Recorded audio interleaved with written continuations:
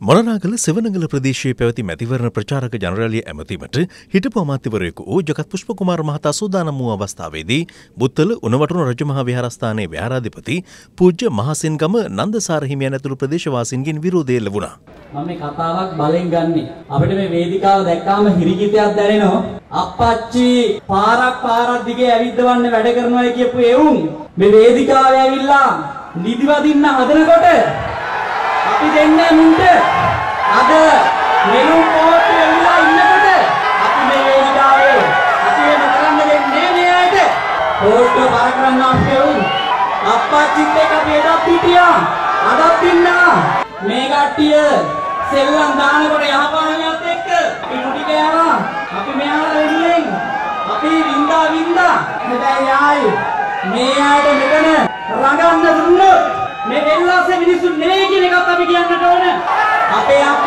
එනකම් ආයි මේක මේ පිනුම් අපුලාට සාකච්ඡා කරන්න දෙන්නේ අපි.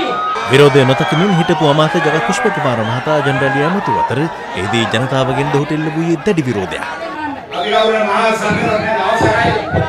ඒ වගේම ඒ අවස්ථාවේ අපේ ඇති වූ උණුසුම් තත්ත්වය පාලනය කිරීමට එම ස්ථානයේ සිටි සෙසු දේශපාලන නියෝජිතයින් එක්ව කටයුතු කළා.